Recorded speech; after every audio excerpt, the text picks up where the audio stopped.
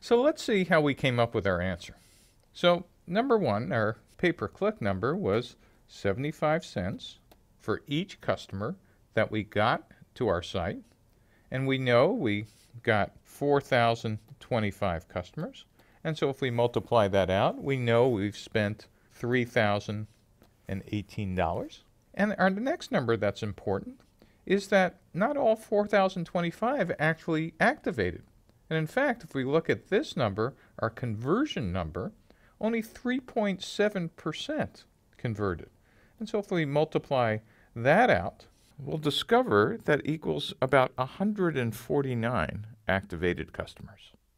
And now, if we divide the $3,018 by these 149 activated customers, we find out that the customer acquisition cost, the CAC, equals about $20, more precisely about $20.27.